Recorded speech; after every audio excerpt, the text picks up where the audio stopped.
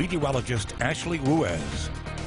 Good morning and happy Friday to you. We are heading into Mardi Gras weekend, one of the best times of year, and it is 617. We are waking up to temperatures in the 30s and 40s all across southeast Louisiana. New Roads 37, Baton Rouge 37 as well, 35 for a cool spot in Kentwood. Now the winds are still whipping out of the north between 10 and 15 miles per hour right now, so it feels much colder than it is out there, 20s and 30s. So you will want to layer up, send the kids with the hats, the gloves, gloves, scarves, anything of that nature, and with socks and boots or, or tennis shoes. And be sure to stay warm today. Temperatures are going to struggle despite us clearing out, high pressure settling into the area, and we'll warm up, but we will slowly warm up into the low and mid 50s. So most of the day will be spent in the lower 50s, and it's going to feel a few degrees cooler, but the wind will begin to relax later on this afternoon and this evening. But notice how quickly the temperatures will drop into the evening hours, which I'll get to in a sec. But if you're wondering,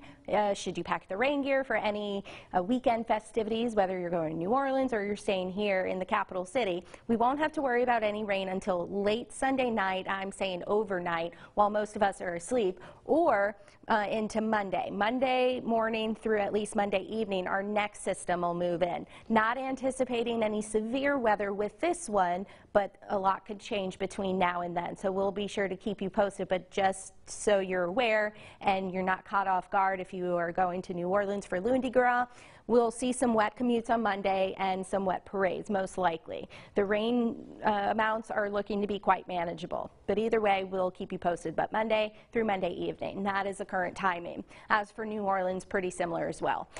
Friday, uh, uh, today, it's going to be sunny and beautiful, low to mid 50s. And then if you are going to the parade route tonight for the Krewe of Southdowns, dress warm. Temperatures are going to fall into the 40s. Of course, that rolls at 7. And then around 10 o'clock or so, we'll be in the upper 30s. If you're going to the box for the LSU game against Indiana, same goes. You'll want to bring the blanket because it is going to be quite chilly. Overnight temperatures are going to fall into the upper 20s for southwest Mississippi and lower 30s across south southeast Louisiana, at least our neck of the woods, around 32 right on the dot for Baton Rouge. So that is why the National Weather Service went ahead and issued this freeze warning. So a light freeze will drop at or below freezing for several hours for these areas in purple. Uh, starting at midnight tonight all the way through Saturday morning. So be sure to protect your plants, Bring them in. If you can't bring them in, just put a light sheet over them. And don't forget about your fur babies. Please bring them in. They absolutely have to be outdoors. Give them plenty of warm and dry shelter. As for the Spanish Town Parade, it is looking perfect. Plenty of sun. If you're going out early, it's going to be chilly, of course. It's going to be chilly throughout the day. Temperatures will warm into the upper 50s by the afternoon, but overall, still going to be a cool day, and we stay rain-free. Sunday, we have several area parades. Of course, one is in Port Allen. That is at 1 p.m. on Sunday. That rolls at 1 p.m. 65. We, we're dry. And then the Krewe of Camogo, that is 7 p.m. in, in Plaquemine. Around 60 degrees. May see a sprinkle. Not looking looking likely. As for New Orleans, same goes. Around 65, 10% on Sunday, 40% on Lundi Gras, and then we're pretty much dry on on Mardi Gras. So no issues there really, mainly in the morning. Ash Wednesday, 59 degrees, and then Thursday, 55 degrees. We're going to cool down once again.